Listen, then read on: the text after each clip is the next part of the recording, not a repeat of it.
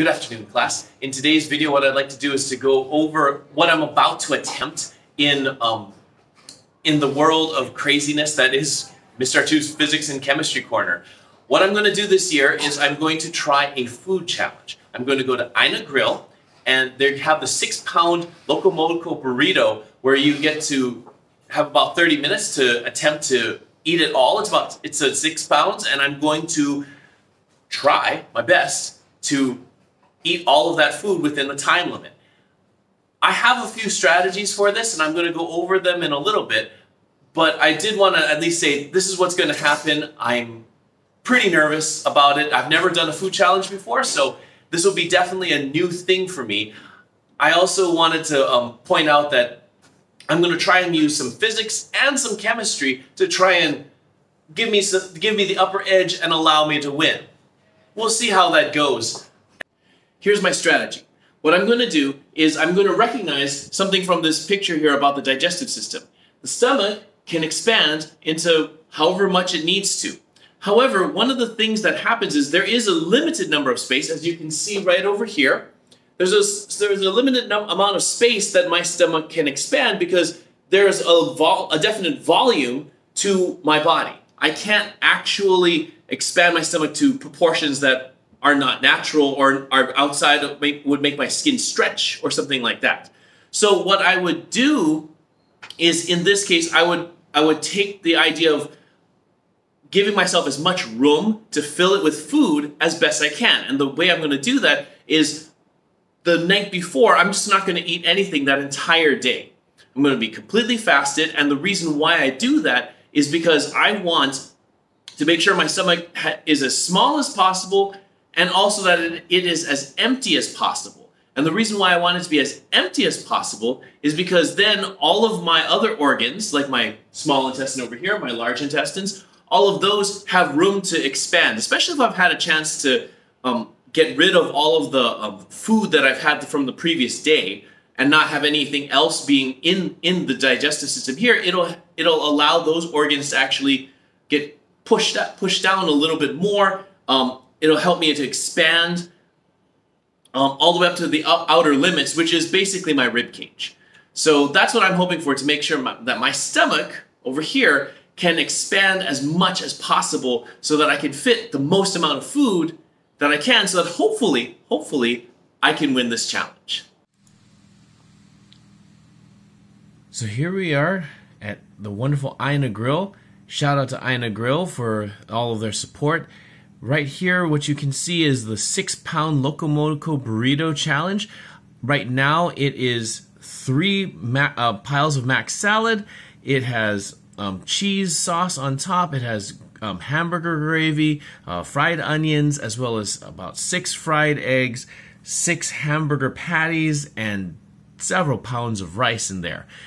What you'll notice is that my lips is are not actually matching up with all of the um, the video that's going on. And the reason for that is because there was a little bit of music in the background that I had to, unfortunately, take out of the video. So what I'm going to do is I'm just showing I'm doing a voiceover to show what's happening. And as you saw, right there was the first loss of the night with my fork just breaking. So there we go. And now it begins the taking on of this epic challenge. At first, I'm starting to make some pretty good time. I'm going in there, you know, hitting up all of the rice, eating as much as I can, trying to look for that first hamburger patty. Ah, and there I found it. However, you know, I, I was working on it and working through all of the the eggs and the hamburger patty, which was very delicious, by the way. And I'm doing pretty good at that point. This is the point where I ask for some water because I've seen challenges, food challenges in the past, and of course they ask for water. So I thought, oh, that was a good idea. My son earlier had asked for some water, and so that's why I was I was saying maybe I should get some too, because that would only make sense. So as we continue with the rice, there I am packing down the rice, and now I'm hitting that second hamburger pack, patty. I'm also trying to make sure that I take into account all of the egg yolk on there because I don't want to leave too much of a mess. I want to make sure that there is um no doubt that that, that I did finish it and that, that some of the um if there's any egg left they wouldn't count that against me.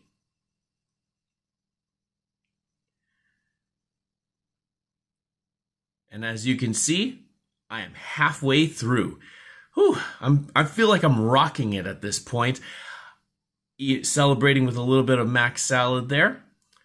But I'm also feeling pretty good. Like uh, my stomach at this point is maybe it feels 50% full. So, you know, with my confidence high, I take on the next part of the challenge.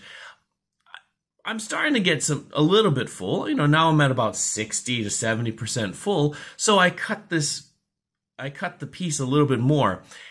It was at this point right at that exact moment where I shook my head, where I started to hit the wall. At first, I was like, you know, at first, I was one bite, I was feeling fine. I was totally rocking it. And then, boom, I hit the wall. And that was where you saw my reaction, where I said, oh, this is really going to be hard. I did not expect that wall to hit that early and that hard. So but I do have to admit, there was a lot of appreciation at that moment for all of the training that those professional food eaters go undergo because they they really have to work hard because that wall when you hit it it is no joke i think i never noticed it in the past because i wouldn't be focused solely on eating all i would be doing was eating, talking, taking way longer than 30 minutes to try and actually finish this challenge. But as you can see here, oh, I'm already, you can see it in my face. This wall is getting harder and harder. I was at maybe 70% full right before I hit the wall, and I immediately went up to about 80%. Every single bite, it's like 5% more. 5% more. I'm trying at this point to talk and stall just a little bit. I'm starting to also get the idea hmm, maybe this might be not doable for me tonight. So I'm trying to see what I can do. As you can tell, I'm getting really, really full.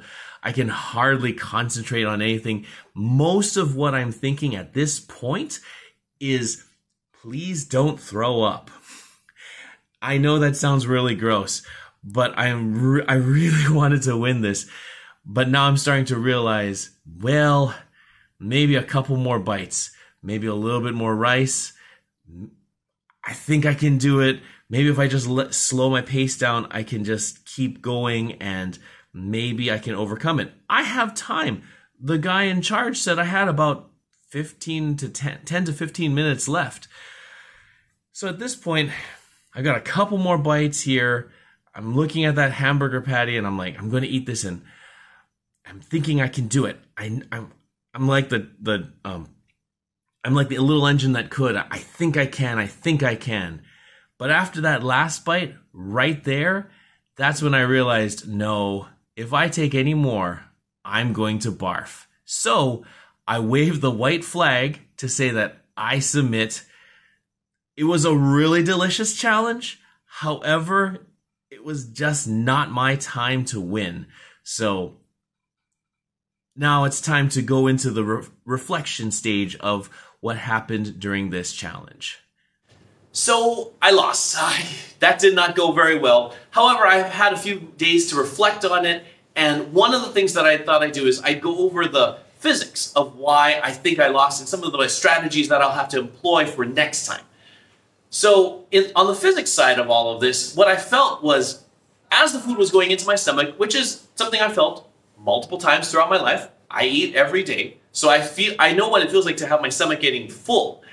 What I didn't account for was all of the air that I would swallow as I was eating all that food. And that built up a bunch of extra, uh, basically a pocket of air that was not filled with food. And that made me feel full while I was going through this challenge. So what I and, and I of course I knew this strategy. I I guess I was just being stubborn or naive maybe.